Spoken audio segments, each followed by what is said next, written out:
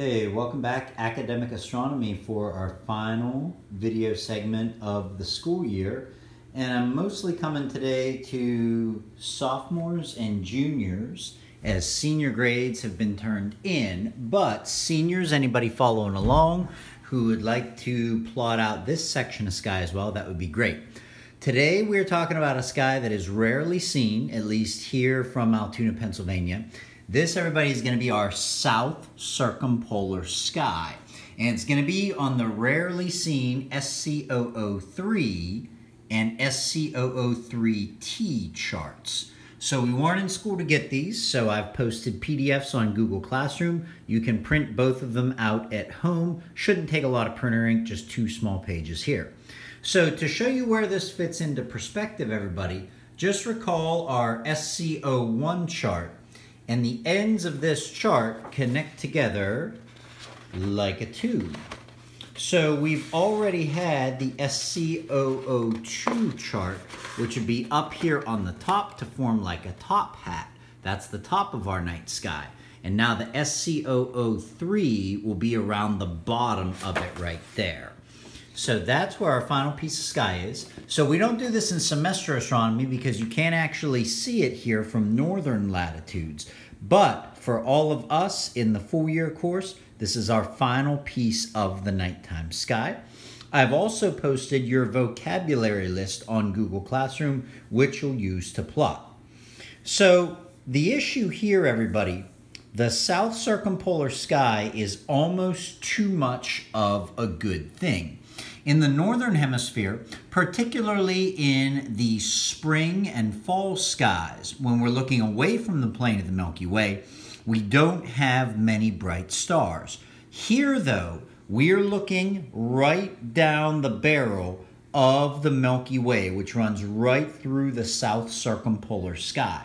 So there's actually so many bright stars that rather than a handful of very large distinctive constellations, we have this mess that you see here of countless teeny tiny ones. Because explorers from the northern hemisphere took additional centuries to actually explore the southern hemisphere in detail. That's where we ended up having explorers like Cortez and Pizarro and Magellan a lot of these constellations down here don't end up having the long-term mythologies and history of the Northern Hemisphere. Many are named after birds, and some were actually added in modern times to fill in missing pieces of the sky, and they're named after pieces of scientific equipment. That's why you get constellations like Microscopium and Telescopium right there. Some of these are a little bit lame even though obviously microscopes and telescopes are awesome. So let's start taking a trip through the south circumpolar sky, and I'll take you through step by step what you need to have on your charts. So first let's talk about the easier chart, the SC003. This is what you're going to be plotting in academic astronomy. Now, just for a quick reference point and a little bit of history, notice teens, unlike us having a North Star Polaris, they do not actually have a south star over their end of the axis. And some astronomers and anthropologists believe that this actually affected the development of civilization. Here in the northern hemisphere, navigation is fairly easy for ship captains because we have that one fixed reference point on the sky. But here in the southern hemisphere, the entire sky was moving. And so their navigation had to be more complex. And so it took a longer amount of time for seafarers to be able to traverse these distances. So neat little bit of history there. All right, let's begin with one repeat that we have from the SCO01 charts. You might recall this down at the feet of Orion the Hunter in the wintertime sky.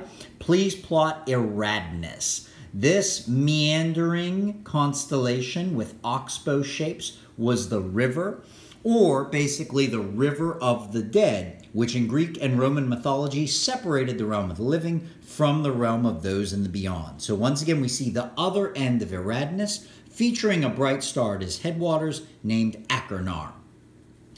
These next three constellations somewhat go together to form one large mythology. we have three pieces of a ship. We have carina, the keel, and that's K E E L. A keel usually refers to the long longitudinal fin on the bottom of the ship to keep the hull upright in the water. It is also home to the second brightest star in the whole night sky called Canopus. So Sirius, which we know is first from Canis Major, Canopus is second. We then have Vela, the sail of the ship. So here would be the keel of the ship, the sail above it, and then maybe the best mythology on the whole sky, even better than Capricornus, the sea goat in the skies of fall, we have Puppis, the poop deck. Yes, you heard it right, the poop deck. Now, poop deck in sailing terms didn't refer to the part of the ship where the sailors would actually lean off the side to go to the bathroom. It actually refers to the high, smaller deck where the captain's wheel would be. So that's Puppis, the poop deck, Vela, the sail, and Carina, the keel. Next up, perhaps the only constellation down in the southern sky that is fairly large and actually looks somewhat like its namesake. We have Centaurus, the centaur. Now, you might recall from the summertime sky, we did learn Sagittarius the archer, but I was a real stickler about saying you cannot call him the centaur. You have to call him the archer. There you can see the bottom of his teapot shape. So there's Sagittarius the archer. And the reason we have to call him the archer is because Centaurus is actually the centaur. And he has a number of very bright stars like, oh look, Bayer system, there's the Greek letter alpha, Alpha Centauri. Wait a minute, we know Alpha Centauri. This represents a triple star system, and that's the next closest star system to our own sun, only between four and a half and five light years away. Yet, to the naked eye, it still looks like a single point of light on the sky. And right next door, not to be confused with Alpha Centauri b, because recall that is a double star system with the dim star Proxima then orbiting near them. This is Alpha Centauri, or I'm sorry, this is, Cent yeah, Alpha Cent, nuts. Beta Centauri. There we are. Even I mixed up. So there is the little Greek symbol beta. This is Beta Centauri, also known as Hadar. One new object that I'm adding this year, it's a stunning naked eye object if you're in the southern hemisphere. It's right here. This is called Omega Centauri.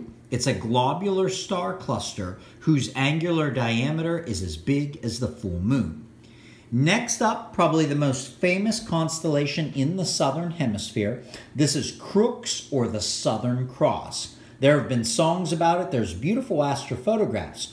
Not only do we have three bright stars of different spectral classes, we have Acrux, we have Gacrux, we'll learn that on the T chart, and mimosa. But you can actually use crux. We learned this back in the section on night sky navigation. If you were ever lost in the southern hemisphere, check it out.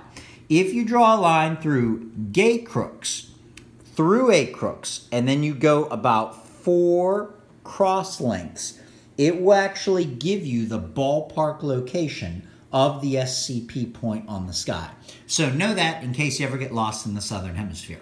Okay, our final four constellations are all bird-based. Next up, we have what looks like a curved little version right there of Delphinus the dolphin. This one is called Musca. In mythology, it is a fly. And for fun, I always like to say this one with a pretend Russian accent. This is Musca. So it's Musca the fly. Let's then return up near the headwaters of Eridanus the river.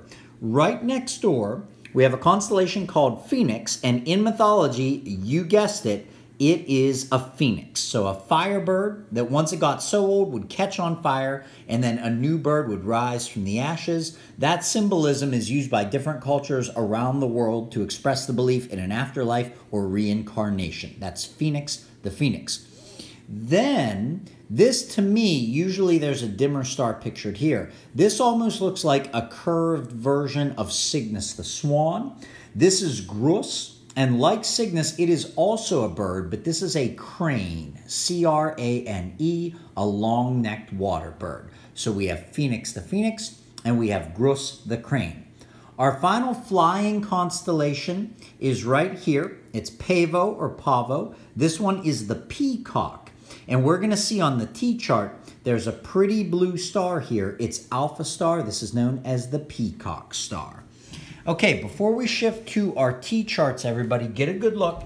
Here's what you should have on your printed out SC003.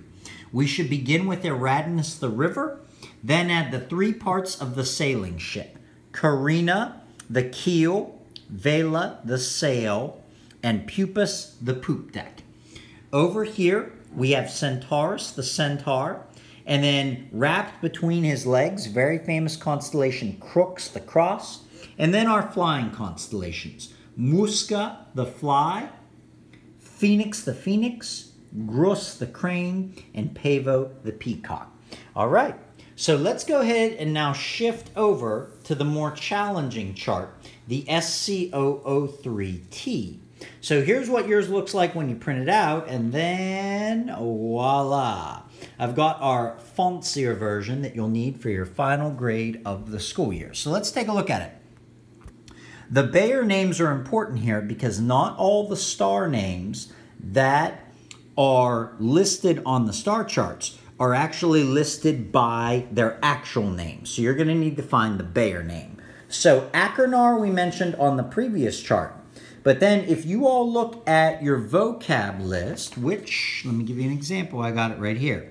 Okay, Acamar. So alpha, beta, gamma, delta, epsilon, and then Eridanus. That's just the Latin possessive of Eridanus, the river. So long story short, look for the epsilon symbol in Eridanus, and then that is going to be Acamar. So if we look over here, do, do, do, do, do, do, do, do, there's the Oh, geez, I'm messing up. I said epsilon. That's a theta. This is what you get when you do one take. Sorry, guys, messing up my Greek letters. That's theta. Okay, so then our theta symbol is right there. So Acamar is theta Eridanus, and so you're going to put that right there at the bend of the river. So we've got Eridanus, we've got Achernar, and we've got Acamar.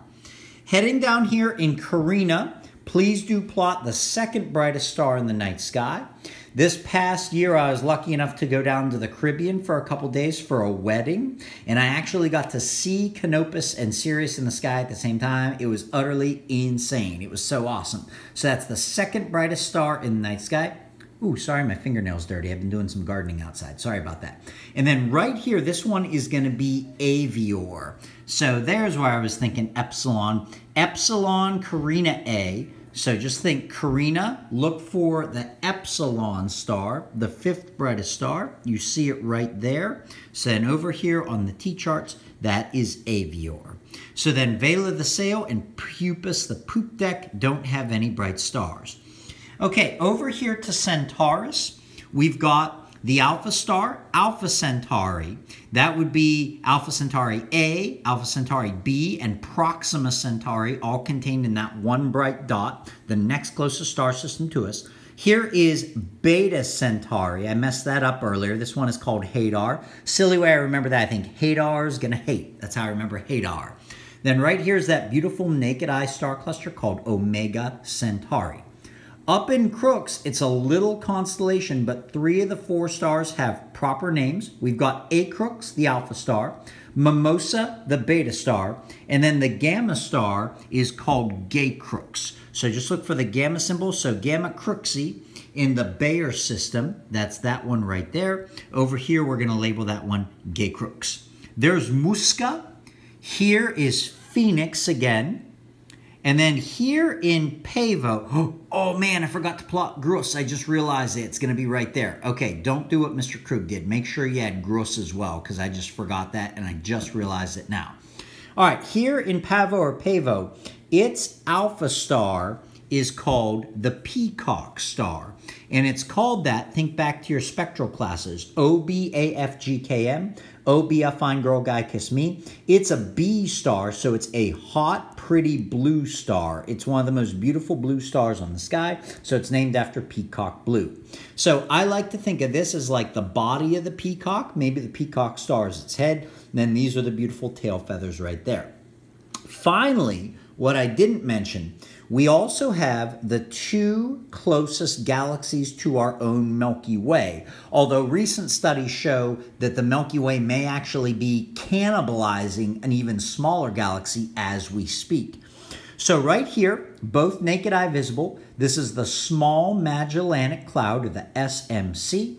Then here we have the Large Magellanic Cloud, or the LMC named after the European explorer Magellan, who was the first European of note to observe them while he was circumnavigating the Earth. So I like to call these the SMC and the LMC. All right, let's take a look. Here is how your SC001T chart should look. And unlike Mr. Krug, don't forget, do add in Grus the Crane as well. Okay, these are going to be your final two grades for the astronomy class. So the SC003 will be the first 10 point grade. Then the SC003T will be the second one. All right. For Mr. Krug, it's been awesome having you guys as students this year. Get this plot done and get it posted. Peace.